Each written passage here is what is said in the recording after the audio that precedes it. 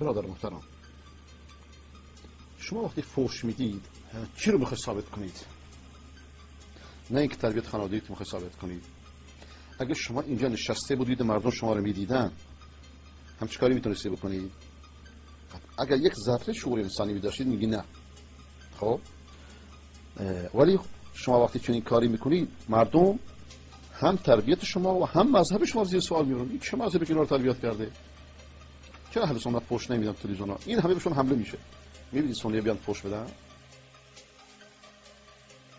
اینا خیلی ذهن خرافیانه.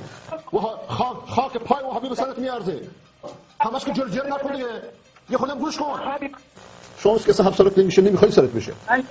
الان قطعت نکردم ولی گوشی می‌ذارم زمین تا یه خورده خفه خون بگیری.